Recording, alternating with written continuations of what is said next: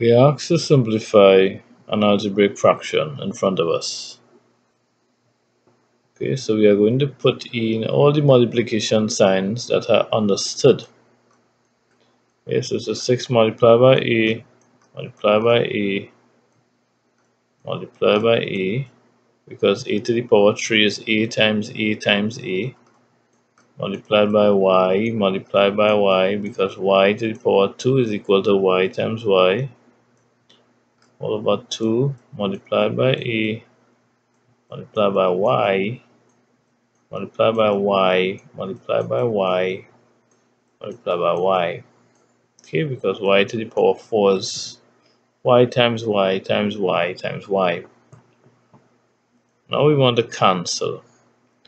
So 2 into 2 1 and 2 into 6 3 a into a1 and into a1 there are no more a's in the denominator they cancel the numerator.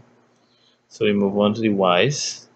Y into y1 y into y1 y into y1 y into y1 okay there are no more y's in the numerator to cancel with the denominator so we stop here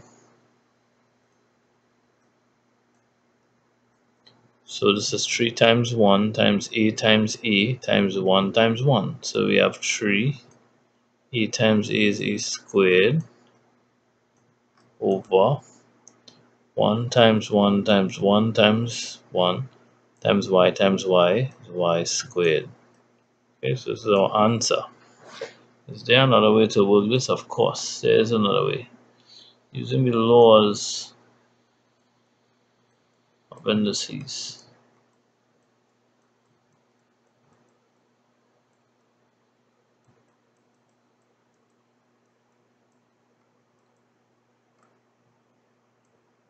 Okay.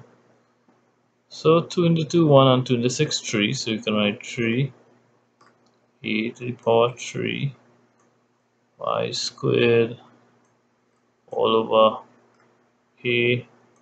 Y to the power 4 equals 3 times a. So we are taking the power in the numerator and subtracting the power in the denominator Note that the power in the denominator of a is 1 because 1 is understood. a to the power 1 is equal to a. Alright, now we have y, the power in the numerator is 2, power in the denominator is 4.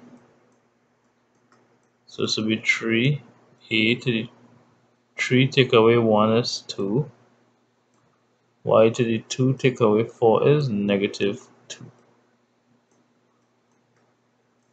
So y to the negative 2 is equal to 1 over y squared. So this is